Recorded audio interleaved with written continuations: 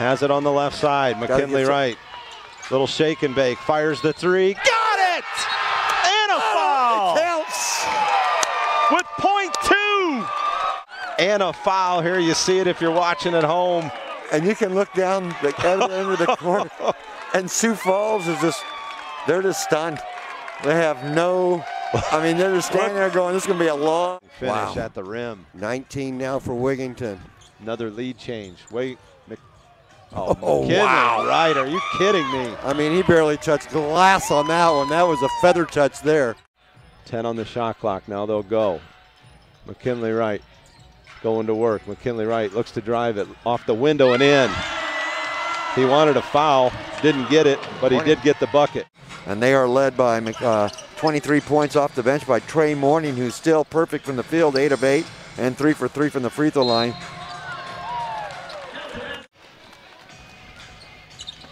Knocks down the three in the corner, and the lead is 7, 17 10 for the Blue. Nice Beautiful. move by McKinley Wright. Yeah. Right to fourth. Shot clock winding down. He loves these shots. And he buries it! McKinley Wright, the fourth, is feeling it in the fourth quarter. Here's McKinley Wright.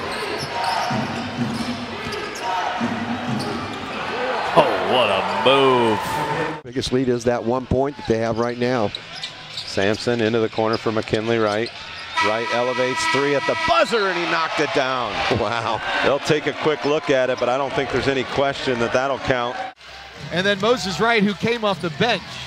With James Banks, the lone starter, on the bench. McKinley Wright, nice move. Right in the paint. Underneath Robert Wood the second, scoops it up and in. 17 for McKinley Wright, the fourth. Also Lamb. Second time tonight, I believe Mitchell has uh, stoned right as right. Oh, wow. Goes up and does a nice reverse layup there. 12 on the shot clock as Wright tries to go around Kabengele. Lays it up and off balance, gets it to drop. And I think there's going to be a foul on Kabengele. I mean, when you're in a development league like the G League, you know, it's every opportunity to work on your game is critical. Sure. Long range three, counted for McKinley Wright. Malik Ben Levy into the game for Chimanga with that rebound. Right on a drive, got that one up over Eve Pons, and it's good.